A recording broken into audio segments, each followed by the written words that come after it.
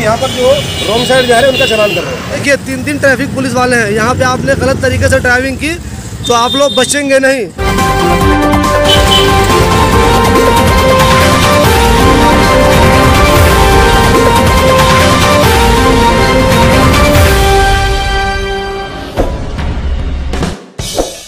रमज़ान का महीना आया है ऐसे में किसी को इस बात की परमिशन नहीं है कि वो जहाँ चाहे जैसे चाहे गाड़ी घुसेर दे।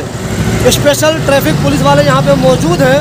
और जो भी लोग गलत तरीके से ओखला में, बटला हाउस में कहीं भी घुसने की कोशिश कर रहे हैं, उनके लिए यहाँ पे ट्रैफ़िक वाले हैं। आप लोग जो भी लोग अब तक इलीगल करते रहे तो ज़रा होशियार हो जाइए।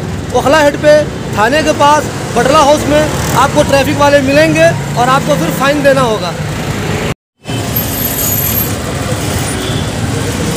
ये देखिए, ये ट्रैफ़िक वाले यहाँ पे मौजूद हैं। सर, ज़रा मुझे ये बताइए ये किस चीज़ पे ख़ास तौर पे आप लोग ध्यान दे रहे हैं यहाँ पे? ये सर यहाँ पर शिकायत आई है कि लोग बाग रोंग साइड जाते हैं जिससे आगे जाकर ट्रैफ़िक स्ट्रक हो जाता है और वहाँ पे एक्सीडेंट होने का भी खतरा रहता है लोगों की जान को खतरा रहता है ये रोंग साइड जाते हैं उधर से बस भी आती है। तो ये वहाँ जाकर चौक कर देते हैं ट्रैफ़िक को। तो ये शिकायत आई है इसकी वजह से हम यहाँ पर जो रोंग साइड जा रहे हैं उनका चलान कर रहे हैं। उनका ड्राइविंग लाइसेंस ले लीजिए इनका।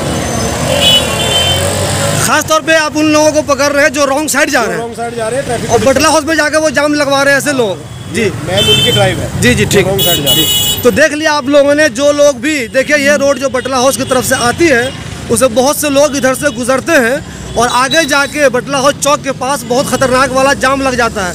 तो आप लोग सुधर जाइए अपने आप को रमज़ान में सुधार लीजिए। जो लोग भी ऐसा कर रहे हैं वो तैयार रहे उनका चलान कटेगा उनका फाइन होगा उनका डीएल सीज कर लिया जाएगा। तो आप लोग ज़रा होश में रहिए किसी तरह की ऐसी गलती नहीं कीजिए कि रमज़ान आपका ख़राब हो जाए। देखिए, तीन तीन ट्रैफ़िक पुलिस वाले हैं। यहाँ पे आपने गलत तरीके से ड्राइविंग की तो आप लोग बचेंगे नहीं। इसलिए जो लोग भी अपने घरों से निकल रहे हैं, वो सोच के निकलें, गलत तरीके से ड्राइविंग नहीं करें और कोशिश करें कि आपके जो जो भी डॉक्यूमेंट चाहिए, वो सब आपके पास होने चाहिए।